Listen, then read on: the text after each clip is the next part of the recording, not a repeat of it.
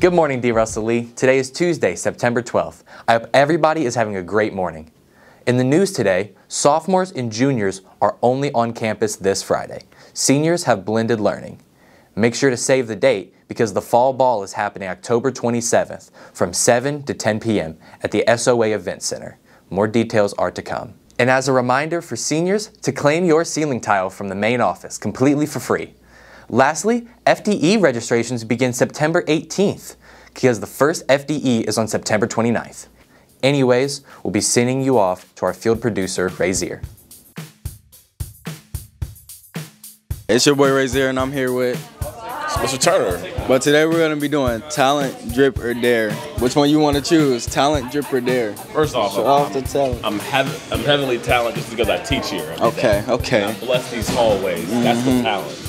The drip, y'all know the y'all know the shoes. Show off the drip. Show you shoes. know the shoes. No one in the building can see me. I got people asking me to buy my shoes every day, and y'all can't afford it. So stop. So you So- stitched this yourself. Did I stitch it myself? No, I did have it bought though. Okay, you got it bought. bought. Okay, he got me Bought thinking that like I'm he stitched it. I'm not an embroidery guy, Mm, okay. but I know people.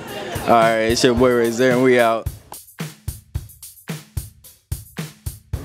Hey everyone, it's me, Chloe Hedges, and this is the weather. It's going to be 74 degrees high today, and it is drizzling outside, so make sure you have your umbrella. But it's going to start cooling down for the rest of the week, too.